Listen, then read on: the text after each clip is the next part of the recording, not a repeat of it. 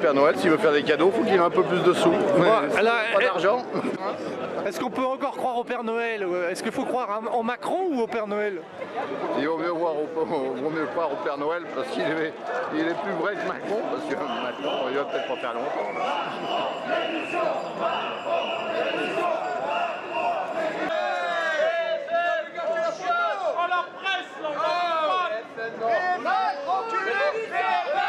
Parce que sur BFM et les autres journaux achetés par les riches et qui sont manipulés par nos hommes politiques, à chaque fois ils disent qu'il y a 5 pélos par manifestation. Alors aujourd'hui on veut montrer euh, le nombre et l'unité de la France, de la vraie France, celle que les Français vivent au jour le jour.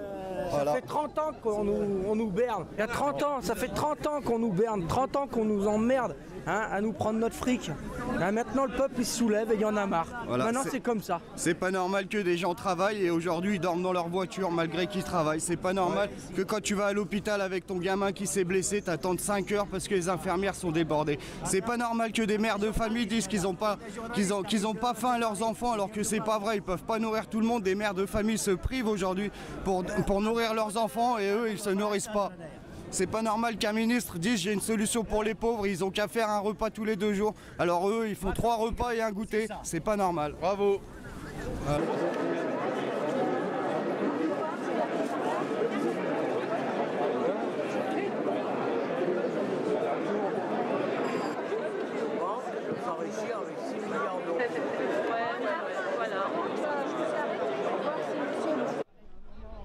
Bonjour, vous venez des déserts dans les Bauges? Ouais, c'est ça. Ouais, pourquoi? euh, bah Parce qu'aujourd'hui, a priori, c'est une journée où convergent un petit peu toutes, euh, euh, tous les groupes de, revendications, que ce soit ceux qui s'étaient réunis la semaine dernière pour le climat, la marche pour le climat, les gilets jaunes, bien sûr, les fonctionnaires, des syndicats. Donc je me dis, c'est une journée de, mobilisation. Mais ce que Macron a annoncé, ça, ça vous suffit pas?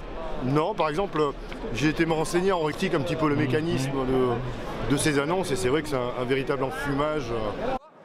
Deuxièmement, je vais demander à tout le monde, sans exception, une minute de silence pour les victimes qu'il y a eu Gilets jaunes et les victimes qu'il y a eu à Strasbourg.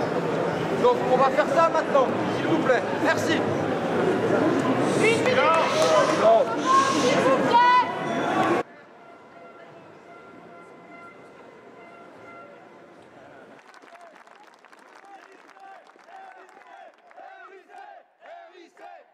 Soit c'est de l'avance de ce qui devait déjà être réalisé, soit c'est euh, ce sera pris sur les services publics, euh, sur, euh, sur, le pouvoir d'achat de toute façon dans les années à venir.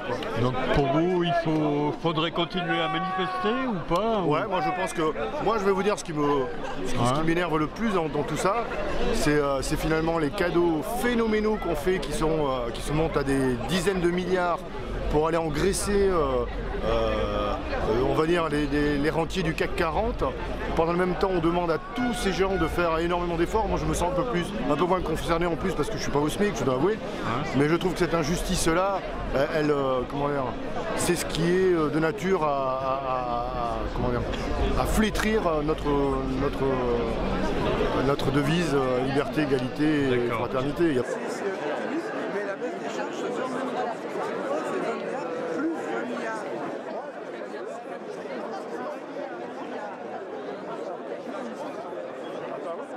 Celui-là euh, parce que, euh, pour plein de raisons, je suis sympathisante euh, par rapport au mouvement des Gilets jaunes.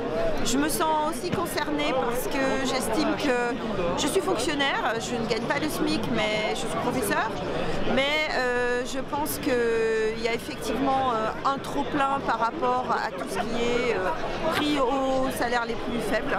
Et je suis scandalisée de voir tout cet argent qui est effectivement donné entre guillemets aux riches, enfin plus qu'entre guillemets d'ailleurs, euh, par le biais de l'ISF, qui aussi a des effets pervers, hein, cette annulation de l'ISF. Par exemple, le fait qu'autrefois les gens qui versaient euh, l'ISF donnaient aussi aux associations. Maintenant, ben, on se retrouve avec des associations qui sont en, chute au niveau euh, mmh. de, la récolte de, l'argent qui leur a été versé. voilà, donc moi je suis pour la remise de cet ISF. Je, suis scandalisée aussi de cet argent qui est donné avec, par le biais du CICE et euh, je pense qu'il y en a ras-le-bol de faire des cadeaux euh, à des grandes entreprises et aux riches. Voilà. Et je pense qu'il faut penser un petit peu aux gens qui sont en dessous et qui, effectivement ont des, des charges fixes qui s'ajoutent, qui s'ajoutent, qui s'ajoutent.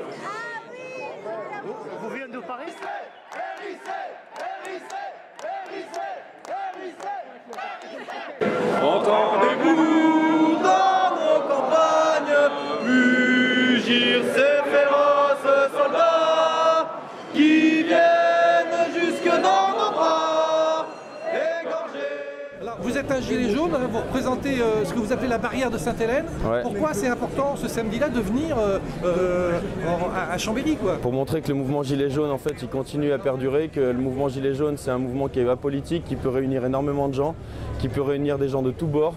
On est là contre l'austérité, on est là contre, pour le pouvoir d'achat, on est là contre les taxes. Il n'y a pas que la taxe carburant. On veut continuer à nous faire entendre. On veut aller au référendum d'initiative citoyenne, ça c'est le plus important pour nous. On va essayer de faire distribuer en fait une pétition qu'on va essayer de, de faire signer aux gens pour leur expliquer euh, grosso modo qu'est-ce qu'il en ressort. Et vraiment le but c'est de se faire connaître un maximum et de, de- continuer à montrer que voilà Gilet jaune on peut être pacifique et intelligent. Donc là on se réunit, on montre que la Savoie a les forces vives, on va continuer, il y aura des actions régionales, il y aura des actions départementales. Là je dis aux gens ayez pas peur, venez parce que ça se passe bien, ça se passe dans le calme, la contestation elle est toujours là, il faut qu'elle continue.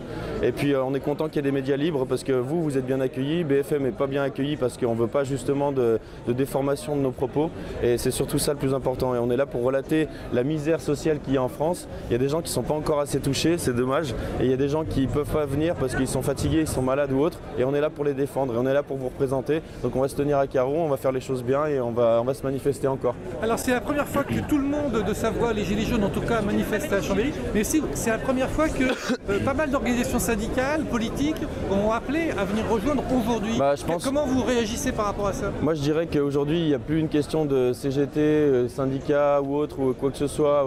Il faut, il faut que chacun personnellement prenne ses responsabilités. Aujourd'hui si, c'est bien beau de gueuler derrière son canapé, derrière son ordinateur, mais il y a un moment il faut être citoyen et la démocratie elle se joue là. Demos c'est le peuple. Donc on est là, on est dans la rue, on est là pour se faire entendre et c'est pour ça qu'aujourd'hui on se réunit. On est encore plus, enfin on est un peu moins nombreux que le 17 novembre, mais on est encore plus unis parce qu'en fait ce que Macron il a peut-être fait c'est nous unir. Donc on va continuer à s'unir jusqu'à sa destitution jusqu'à ce qu'on puisse euh, faire voter justement notre RIC. Et une fois que le RIC sera passé, bah, ce sera à tout le monde d'être citoyen.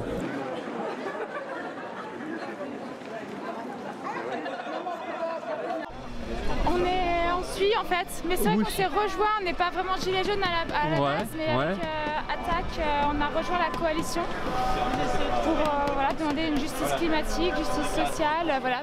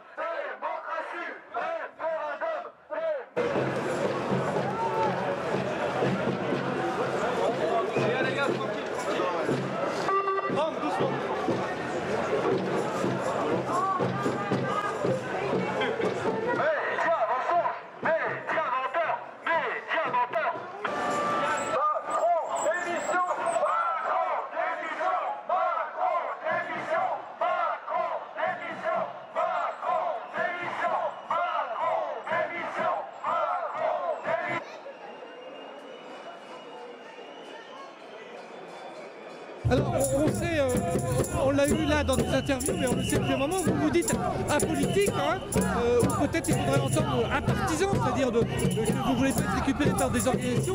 Mais euh, là, on voit pour ceux qui, qui documentent la, la manifestation, qu'en tête, qui tiennent la, la banderole, c'est vraiment des groupes d'extrême droite. Comment vous réagissez, vous? Alors on vient de me le dire, j'ai aucune idée de ce qui se passe Bien sûr, devant. bien sûr. Voilà, bon bah il y a de la récupération politique certes, mais nous les gilets jaunes on n'est pas naïfs, on sait pourquoi on est là. Et euh, voilà. Mais c'est pas anodin d'être en tête de la manifestation. Comment vous réagissez, vous Vous faites- Je vais m'en occuper. Je vais m'en occuper, on va mettre nos banderoles à nous devant. C'est ça ou pas? Ah oui, on le dénonce, oui, oui, on n'est pas d'accord. euh, déjà, euh, on s'est battu avec la CGT pour qu'ils viennent en gilet jaune et pas en gilet, en gilet rouge. Voilà, on veut vraiment qu'on vienne là en tant que citoyen euh, lambda.